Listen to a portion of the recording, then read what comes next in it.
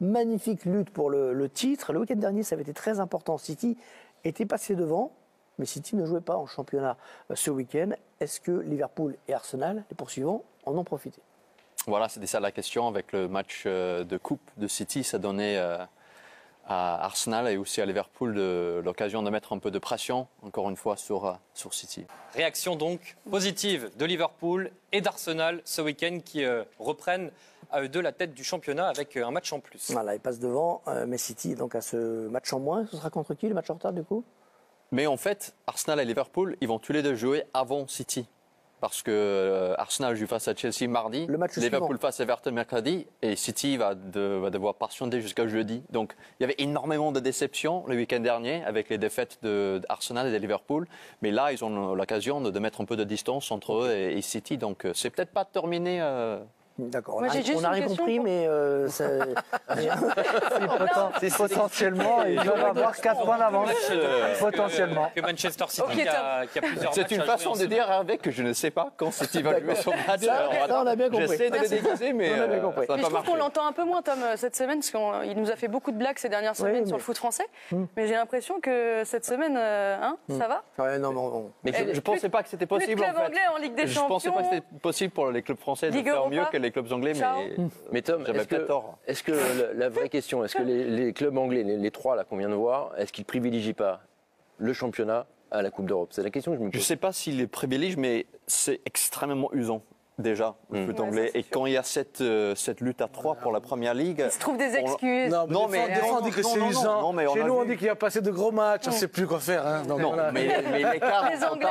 et, et le reste, on a vu hier les matchs, les- le match d'Arsenal, le match de City en couple, le match de Liverpool, ils sont tous cramés. Mais ça, ça ajoute à, à Ah, la, c'est à la pas grave, suspense. Tom. C'est vrai, on- c'est juste. Un, C'est très juste. info quand même sur City qui donc jouait en coupe contre Chelsea, qui a éliminé Chelsea euh, et s'est qualifié pour la finale de la Cup. Ce sera un derby mancunien en finale, City United.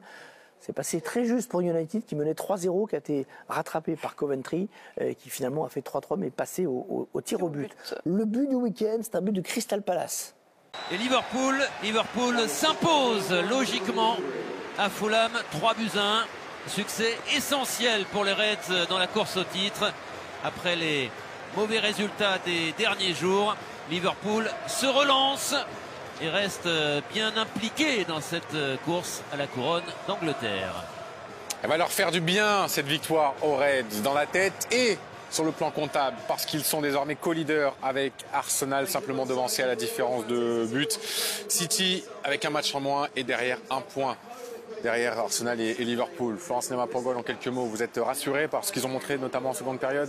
Deuxième mi-temps, ouais. deuxième mi-temps, elle était, était beaucoup plus complète et, et en plus, voilà, il y a les buts euh, qui ont accompagné leur, euh, on va dire leur, leur victoire, donc euh, c'est toujours intéressant. Après, encore une fois, bon, un petit clean sheet aurait été mieux pour la suite, mais bon, on prend, on prend ce qu'il y a à prendre. Il a l'air inquiet quand même. Le voici, le classement. Qu'est-ce qu'elle va être passionnante cette fin de saison de Première Ligue? Il reste 5 matchs à jouer pour euh, Arsenal et Liverpool, 6 pour Manchester City. Elle revient très vite cette Première Ligue. Mardi, mercredi, jeudi, les trois équipes rejouent, notamment Arsenal, Chelsea, mardi et un Everton, Liverpool mercredi sur Canal. Arsenal et Liverpool mettent la pression sur Manchester City. Salut à toi et bienvenue dans cette vidéo. Dans cette vidéo, on va parler de la Premier League, les gars. Mais avant de commencer, si tu me découvres à travers cette vidéo, ici, on parle de foot. Ici, nous, on est passionné par le foot. Le foot sur cette chaîne, c'est notre passion. Donc, si tu es intéressé par la thématique et surtout, si tu aimes ce de contenu, n'hésite pas à t'abonner, d'activer la cloche de notification pour ne rien manquer des prochaines vidéos qui vont arriver sur la chaîne. C'est parti. Alors, Arsenal et Liverpool mettent la pression sur Manchester City qui n'a pas joué ce week-end. City qui jouait plutôt les demi-finales de FA Cup, donc la Coupe d'Angleterre demi-finale contre, ils ont joué contre Chelsea. City s'est imposé un but à zéro, donc City va rejoindre, ou bien c'est United qui va rejoindre City en finale. En finale de FA Cup, on aura donc un Manchester City contre Manchester United, le derby. Cette finale sera le derby. Le derby, les gars. Derby de Manchester. Donc, je disais donc, Arsenal met la pression sur Manchester City, euh, au même titre que Liverpool. Liverpool, euh, ils ont gagné Fulham 3-1, mais un peu plus tôt, Arsenal a également gagné Wolverhampton. Arsenal a également gagné Wolverhampton 2 buts à 0. Les buts de Leandro Trossard et Martin Odegaard. 2-0 pour Arsenal et Plus tard, Liverpool a répondu en gagnant Fulham 3 buts à 1. Ce qui m'a un peu surpris dans ce Fulham Liverpool, c'est que Salah a débuté sur le banc. Mohamed Salah a débuté sur le banc. Jurgen Klopp a préféré mettre Cody Gapo, Diogo Jota et Luis Diaz. Ça a plutôt bien fonctionné, puisqu'ils ont gagné presque sans Salah.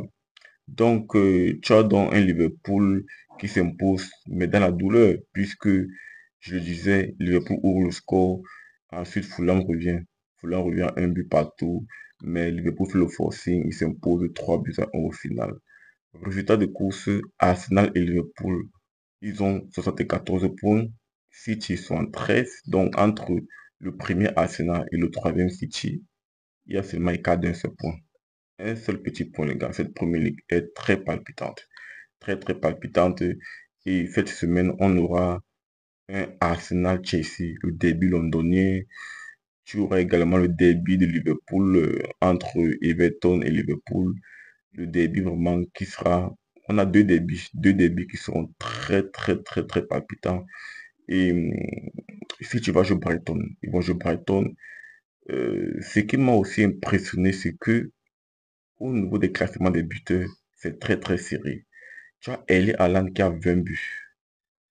Deuxième, tu as Cole Palmer avec 20 buts.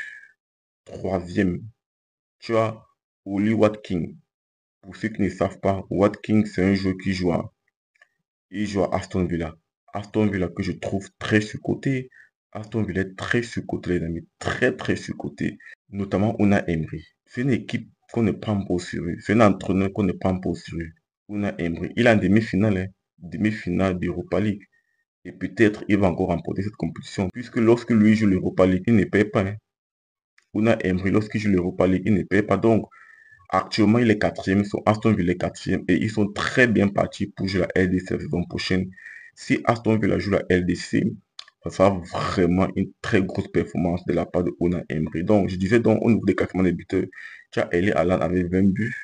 Tu as Cole Palmer, Cole Palmer que Guardiola, il a vendu à Chelsea pour 50 millions d'euros. Aujourd'hui, si tu regrettes pourquoi avoir vendu Cole à 50 millions d'euros, vu ce qu'il fait à Chelsea? Donc, tu as Cole Palmer, deuxième meilleur buteur avec 20 buts, ou meilleur buteur avec Allen. Troisième, tu as Oli Watkins. Watkins, que je disais, il joue à Aston Villa très très fort. Et quatrième, tu as euh, Dominique Solanke. Solanke, franchement, très bon buteur, Solanke. Solanke, très très fort. Il joue à Bournemouth. Bournemouth. Et si, euh, si un club, un grand club cherche les buteurs, pourquoi pas venir en Premier League? Pourquoi pas venir en Premier League? Il y a des très bons buteurs, notamment Oli Watkins. Il est capable de marquer des buts. Il est capable de donner les bonnes parts décisives. Donc, je disais donc, troisième, Oli Watkins. Quatrième, Dominique Solanke. Cinquième, Alexandre Isaac. Alexandre Isaac qui joue à Newcastle avec 17 buts.